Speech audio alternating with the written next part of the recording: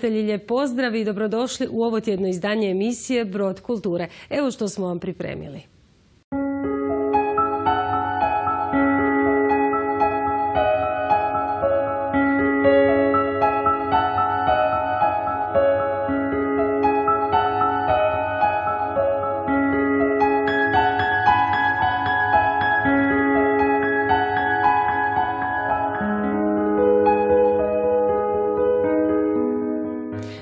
Više od dva i pol mjeseca konačno odigrana je predstava u Slavonskom brodu.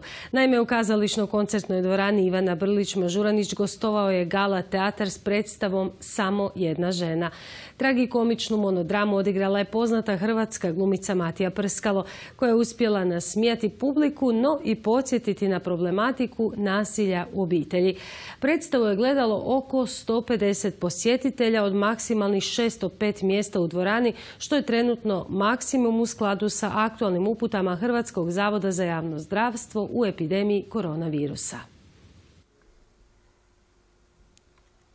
Dvorana u posebnom epidemiološkom ruhu, prazni redovi, razmak između posjetitelja i konačno prvo otvaranje vrata za publiku. Zašto ste večeras? Pa konačno da malo dođemo u kazalište, već dugo nije bilo predstava. Ne bojite se koronavirusa? Ne. Pa zato su se već poželjeli izlazaka i da nešto vidimo, da se kulturno malo uzdižemo. Ovako sam stalno u zatvorenom prostoru. Znači jedva ste dočekali? Ma jedva dočekali, već sam, kažem, skoro pala u depresiju. Poželio sam kazalište, a inače znate da obožavam kazalište, pa vratio sam se.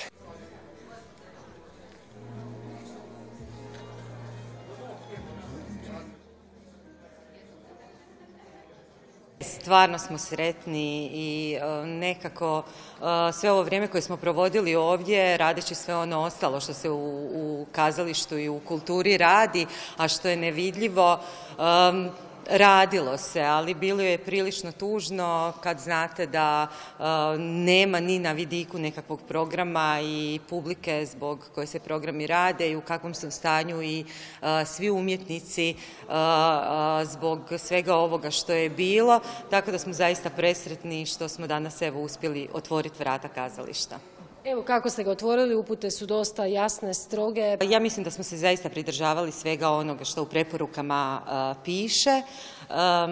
priredili smo dvoranu tako da imamo puno manji kapacitet nego što je to bilo do sada, jel, nego što ga dvorana ima. Znači od 605 sjedećih mjesta mi smo došli na nekih, reći ćemo, oko 150, nešto malo manje, poštivajući sve ono što je preporučeno, razmak od metar i po, um, dezinfekcijska sredstva na, na ulazu, maske, rukavice zaposlenika i sve ono što uz to ide. Dugo i rekla bi sigurno teško razdoblje za, i za vas glumce, sigurno i za nas. Pa ovo je bilo jedno razdoblje neizvjesnosti, možda čak i straha, ja bih rekla više brige za svoje bližnje, osobito starije, kako su nas stalno upozoravali. Najgore što čovjek ne zna ništa o toj novoj bolesti, pa onda zapravo najviše se bojimo nepoznatoga. Sad evo nismo ipak svi umrli, preživjeli smo koronu. E, zaista evo veselim se ovom gostovanju i izvedbi u Brodu, Slavonskom Brodu. Zaista nisam vjerovala da ćemo se mi tako brzo iskobeljati iz tog zla koje nas je snašlo, ali evo uspjeli smo. Nekako mi se čini da, da smo ipak dobro zaplivali i ja sam sretna što sam večeras evo ovdje s vama u Slavonskom Brodu. Na koji način je vama i kako najviše falila ta pozornica te predstave? Pa, e, znate što, svima je nešto falilo, svako radi neki svoj posao i e, više manje ljudi su radili i od kuće koliko su mogli. Mislim da su najviše nedostajali ljudi. Jedni drugima smo nekako, imam osjećaj, falili. Mislim, glupo je piti kavu preko Zuma ili preko e, WhatsApp aplikacije. Ovaj, malo je to interesantno jednom, dva puta, onda čovjeku postane tužno i naravno da se veselimo susretima i druženjima s dragim ljudima i kolegama. A uz prvu izvedbu nakon zatvorene dvorane i strogih protuepidemijskih mjera ide i besplatna predstava. 150 odabranih uz prethodnu rezervaciju mogle uživati u tragikomičnoj monodrami. Una Dona Sola, znači talijanski komad talijanskog Nobelovca Darija Foa, napisan je dosta davno, 70. i neke, ne znam točno kad, i njegova supruga, jedna genijalna glumica Franka Rame, je to igrala dugi niz godina u Italiji kao veliki hit, kod nas nije nikad igran. Ja sam prevela, odnosno moj kolega, prijatelj glumac Đuro Rojić je preveo e, taj komad i kad sam vidjela koliko on pozna Darija Foa i njegov je veliki obožavatelj s puno duha, s puno tog mediteranskog e, daha, ja bih rekla i safta, ovaj, e, onda smo se odlučili da zajedno, zapravo on je izrežirao ovu predstavu i potpisnik je režije, isto tako kao i prijevoda. Evo, ovo je već, da ne kažem 80, a možda čak tako, ako nije 70 80. izvedba, što je za jedan mali neovisni teatar jako puno u tri godine, se toliko ne odigra ni u profesionalnim kazalištima ovaj, predstava. E, je, jedan naslov se ipak ovaj, ne igra tako puno puta jer ih u profesionalnim kazalištima, imaju više. Ali dobro, hvala Bogu, ja sam jako zadovoljna, publika voli ovu predstavu gdje god sam do sad bila zaista bila lijepo primljena. Ja se nadam da će biti tako i večeras ovdje.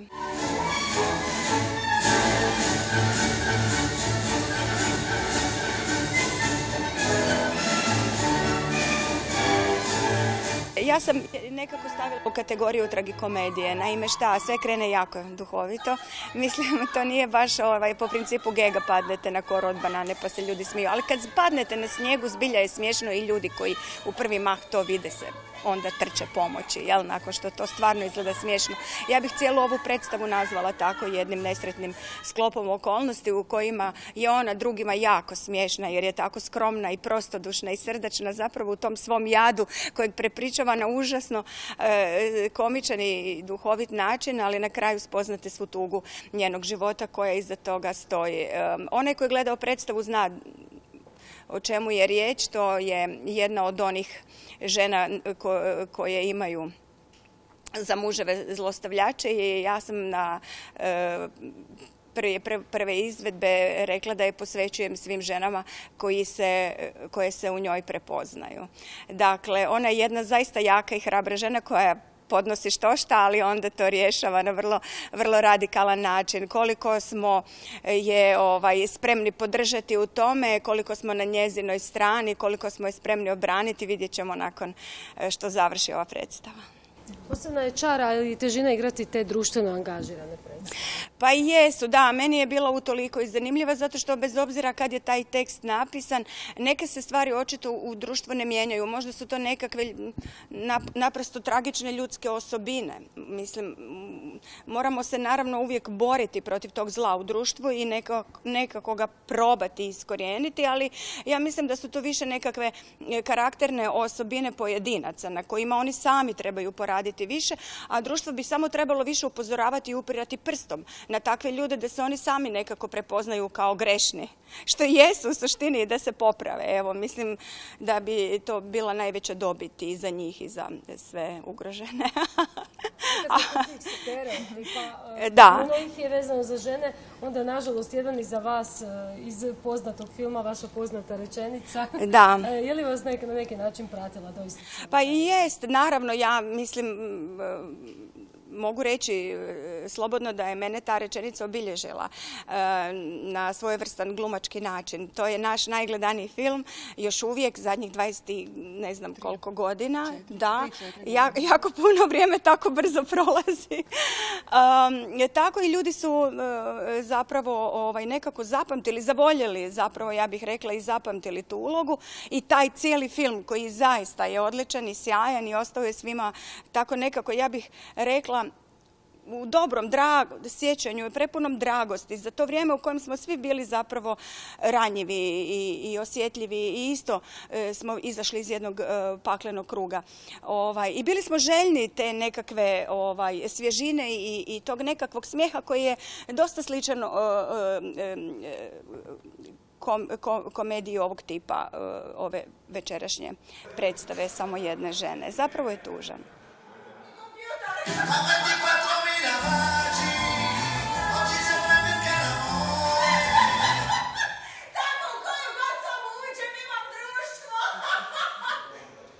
pripremama smo za manifestaciju Brodsko glazbeno ljeto, ona će ići um, sa nešto reduciranim programom i prilagođenim programom, opet prema preporukama i uputama Ministarstva uh, kulture. Uh, nažalost, uh, nećemo moći imati spektakularno otvorenje koje je uvijek bilo u samoj dvorani i uvijek rasprodano.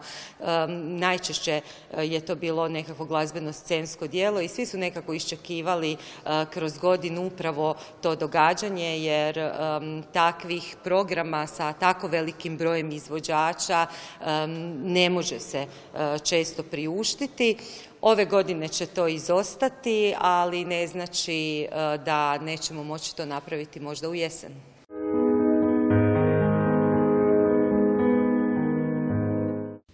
Galerija Rub ugostila je protekli vikend poznatog strip crtača i profesora na Osječkoj akademiji za umjetnost i kulturu Dubravka Matakovića. Evo kako je bilo. Udruga za suvremenu umjetnost Tvrđava Brod ugostila je u svojoj galeriji Rub Dubravka Matakovića, Vinkovčanina, strip crtača, ilustratora i pravog majstora kada je crtačka tehnika u pitanju. Mislim da je jedan od najznačajnijih strip crtača u jugoistočnom dijelu Europe jer način na koji on radi svoje stripove, takav pandan tome nećemo baš pronaći. Ni u bližu, ni u daljnjoj okolici. Inače, Dubravko stilski, dakle, mogli bi reći da je nekakva vrsta obnovitelja srednjovjekovne ilustracije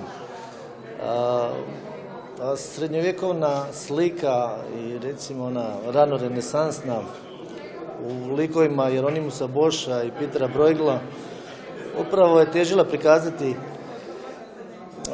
ljude s nekakvog dna društvene ljestvice i svu njihovu nekakvu njihov način života i njihovu malenkost da je tako potvrdili su do sada brojni likovni kritičari, a i neki književnici poput Miljenka Jergovića, kojega je proglasio najboljim pripovjedačem kojega je hrvatski strip u svojoj povijesti imao. Skroman, no talentiran i visoko produktivan autor u Slavonskom brodu predstavio je svoje recentne radove. Inače strip nije medij ono, za galerije i za muzeje i tako, ali u zadnje vrijeme ima dosta toga i uglavnom idem na poziv ne tražim okolo, sad bih ja izlagao. Ono strip je medij za, za tisak i u novije vrijeme za internet. Ja sam stripova uvijek radio onako to usputno i ne znam, išao sam na akademiju, mislio sam postati umjetnik, ono pravi umjetnik ozbiljni. Međutim, krenulo je s nekim narudžbama, honorarima i tako sam još uvijek to radio usput dok se to nije razvilo nekako ono da bi postalo glavno i onda sam rekao, ok, ovaj, ti sad to i onda eto, do kraja sam ostao to. Eto, nekako mi to valjda bila sudbina jer e, kao što ste rekli e, zacrtati strip nije dovoljno samo biti dobar crtač, morate biti dobar ovaj, autor prije svega, znači scenarist. I nakon toga sve ono što prati stripa, to je režija, kao što imamo filmsku režiju, kadriranje, dramaturgija, ne znam, morate točno znati kako iz koje e, sličice, iz kojeg kadra, ovaj, što će biti sljedeće, na koji način, kako će, koji, će biti rakursi, tako, sve ono što imate u filmu. Kako autor putem internetskog medija na tjednoj bazi objavljuje svoje radove, neizbježne su i aktualne teme u njegovim stripovima. Tako se na izloženima našao i koronavirus, no i brojne aktualne političko-gospodarske teme. Najradije bih da mogu izbjegao to i radio nekakve stripove koji nisu vezani ono striktno uz neki događaj ili uz politički događaj ili nešto, nego da su onako malo univerzalniji. Međutim, tempo i, i količina mi to ne mogućuju, znači moramo ono se malo pomagati tim nekim ovaj, aktualnim događajima. Odlika Matakovićevog stvaralaštva je samokritičnost kroz izmišljene likove. Kozina dodaje, pravi humorist još od doba Molijera ismijava kroz likove samoga sebe. Upravo ta, ta prolaznost i ta, to svačanje i neuzimanje sebe preozbiljno, to je ono što je po meni najvažnije. Ovaj, I što je odlika njegovih e, stripova. Znači, ta, to ismijavanje, u stvari, on, ne da se on sad ismijava nekom, to nisu konkretni ljudi, konkretni likovi koji ćete sresti na ulici, nego pravi humorist još od Molijera u stvari ismijava kroz likove koji opisuje samog sebe. I to je odlika pravog humorista. Znači, ismijavanje sebe, ja se u stvari, neću reći rugam, ali smijevam sve slabosti društva u kojem jesu. I onda mi niko ne može ništa prigovoriti jer ja govorim o sebi. I na neki način odlika upravo tog Hermesa je ta dvojakost. Znači, medalja ima dva lica, s jedne strane klaun, s druge strane kralj. Dakle, da bi se čovjek spustio tako nisko, svjesno, dakle u sam talog vlastitog postojanja, dakle on mora biti kralj. Ostali to ne mogu. Dakle, kao što ovaj, jedan engleski pisac rekao, dostojanstvenost je najveći neprijatelj istine. I upravo se do, Dubravko bori protiv te nekakve hinjene dostojanstvenosti i lažnog patosa. Dubravko Mataković diplomirao je 1983. godine na Zagrebačkoj akademiji likovnih umjetnosti, a stripom se profesionalno bavio od 1984. Objavljivao je u brojnim novinama, časopisima, oblikovao i izradio ilustracije za desetke knjiga i udžbenika, autor je animiranog filma, dobitnik reda Danice Hrvatske i brojnih nagrada, a od 2017. i docent na diplomskom studiju ilustracije Akademije za umjetnost i kulturu u Osijeku. Iako tvrdi umjetnost je na marginama, a strip i na marginama umjetnosti, za razliku od pogleda na strip u 20. stoljeću, danas se potvrđuje, o njemu govori na ipak nešto višoj razini. Ima ga na fakultetima, kao izborni predmet u Osijeku ima kao ovaj, redovni kolegi, ima ga evo u galerijama, ima ga u knjižnicama, tako da danas gledaju na strip ipak malo onako sa, sa većim poštovanjem nego nekada. A u galeriji Rub ima ga na 20 tabli u izložbi pod nazivom Kontingentnosti. O njegovoj popularnosti među ljubiteljima stripano i umjetnosti općenito najbolje govori broj posjetitelja iz Slavonskog Brodano i okolnih gradova koji su unatoč još uvijek aktualnoj epidemiji koronavirusa te kiši napunili prostor ispred i u galeriji.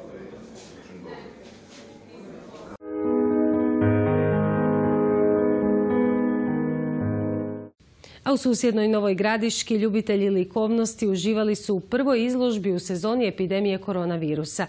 U Novogradiškom domu kulture Pučko otvoreno učilište Matija Antun Relković ugostilo je poznatu hrvatsku slikaricu Edith Glavortić, a ona je upravo tamo predstavila svoj najnoviji ciklus radova.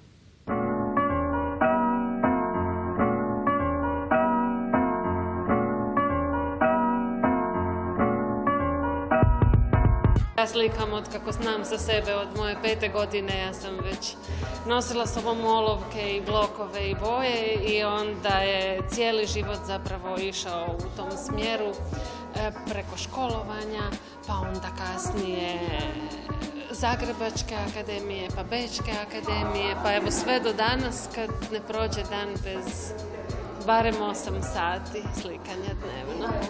Vi ste zapravo za početak već imali, rekla bih sigurno, komparativnu prednost da vam je mentor i učitelj na fakultetu bio poznati Đuro Sen. Je, je e, on je bio moj mentor e, četiri godine na Zagrebačkoj akademiji. To je bila velika čast i privilegija, naravno, jer on je zaista jedan izuzetno, izuzetno dobar likovni pedagog, a i jedan u svakom smislu poseban čovjek. Spomenuli ste edukaciju u Beču. Što vam je Beč donio? E, pa u Beću sam e, nostrificirala svoju diplomu Zagrebačke akademije e, i bavila se raznim, zapravo više akvareliranjem nego slikanjem u ulju i to je bio zaista jedan cijeli niz godina kad sam isključivo slikala akvarele i, i zapravo izložbe akvarela priređivala. E, vaš nekako slikarski put prirodno se razvijao i mijenjao, no međutim jednom je onako simbolično i oduvijek pa i danas, a to je nešto mistično, nešto anđelski ali, u tim vašim radima. Pa počelo je sa anđelima, obzirom da je to bila jedna tema koja se otvorila sama od sebe, mada mislim da se u stvaranju i u slikanju i u pisanju i u bilo vrsti kreativnog rada zapravo teme pojavljuju i događaju same od sebe. Tako su meni anđeli došli sami i onda sam naslikala jedan ciklus koji zapravo i do dana današnjeg još uvijek radim i slikam. Međutim, e, nakon izvjesnog broja godina došle su i neke druge teme, a to je bilo skice iz Edena koje predstavlja izložbom, ali bilo je i još jedna zapravo još dva velika ciklusa, od kojih se jedan zove Život je lijepi, predstavlja minijature, e, a drugi je Sretno drvo koji predstavlja tako studije stabala u različitim bojama, godišnjim dobima i kolorističkim studijama.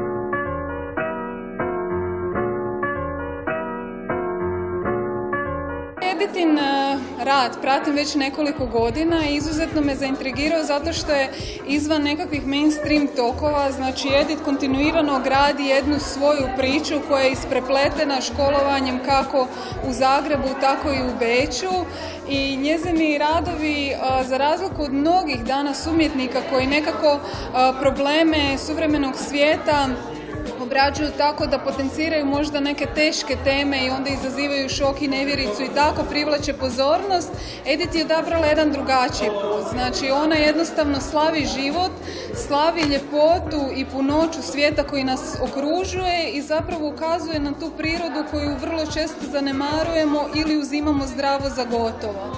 A, tako da mislim da se i potenciranjem i odnosno ukazivanjem na ono lijepo što postoji isto tako mogu obraditi aktualni problemi, pogotovo danas, evo imali smo sad tu pandemiju korone i vidjeli smo koliko u samo mjesec ili dva se i zrak pročistio i voda se pročistila i život se vratio na neka područja gdje ga prije nije bilo. I mislim da nas Edit kroz ovo bogatstvo svojih likovnih formi poziva da se zapravo vratimo sami sebi nekim bitnim kvalitetama koji smo u ovom danas vrlo užurbanom svijetu dosta zaboravili i nekako potisnuli u drugi plan.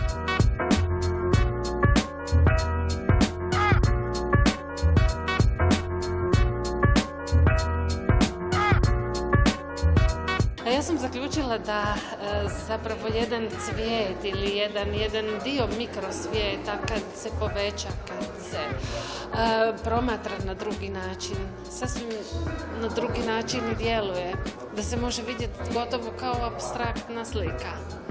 E, I na taj način sam zapravo zamislila prolazim mojim imaginarnim vrtom kao jednu studiju tih malih sitnih cvjetića, listića, travki koji kad se uvećaju sasvim jednu drugu energiju, jednu drugu priču imaju. I ovo je krenulo sad ovom izložbom koju vidite, ali to nije iz daleka, nije zaključeno, to sam sad tek krenula pa ćemo sigurno nastavljati dalje tim. Kako ide zapravo proces, kako zapravo nastaju pa kao i sve drugo, naprosto jedno jutro se probudim i sjednem pred platno i onda krenem crtat, krenem postavljati boju, ali za svaku od ovih slika treba mi jako puno vremena, barem mjesec dana, jer je to rad uljenim bojama, pa su onda tu mnoge lazure koje se nanose jedna na drugu, uljena tehnika je zahtjevna u tom smislu što je, e, to je jedna klasična tehnika gdje treba dugo prosušivati pojedine slojeve. Tako da u ovom slučaju onda jedan na drugi, jedan na drugi ima jednu posebnu kvalitetu likovnu kad je slika gotova jer onda slojevi koji su ispod prosijavaju i drugčije djeluju boje na njima. Tako da bez obzira na sve e, otežavajuće okolnosti u smislu vremena, mislim da je rezultat kakav se ne može postići ni jednom drugom tehnikom.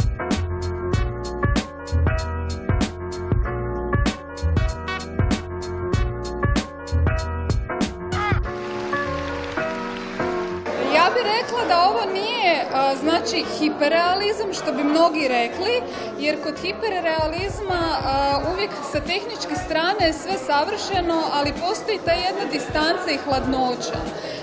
Edit je doslovce svu tu svoju duhovnost, svu to izuzetno poštovanje prema prirodi i energiji utkala u te radove, tako da oni doslovno, na primjer, božuri vas mame sa tom nekakvom svom paperijastom formom da ih dotaknete kao da su živi, a s druge strane jedna ta subtilnost i oštrina irisa je izuzetno elegantna i krhka i djeluju kao da bi se saveli pod vašim dodirom.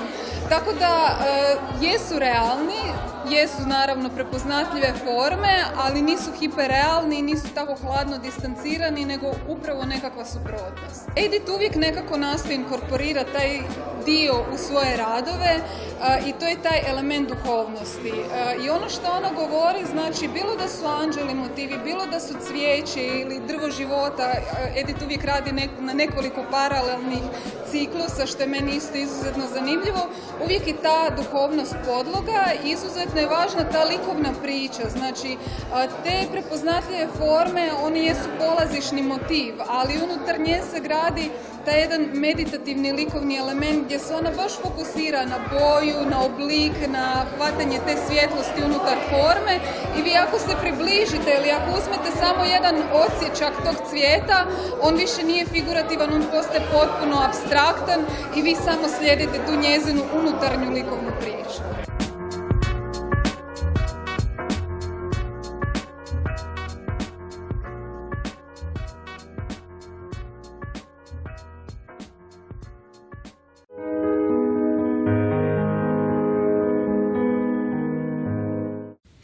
Što ste i večeras bili uz Brod kulture. Vidimo se ponovno iduće srijede. Doviđenja.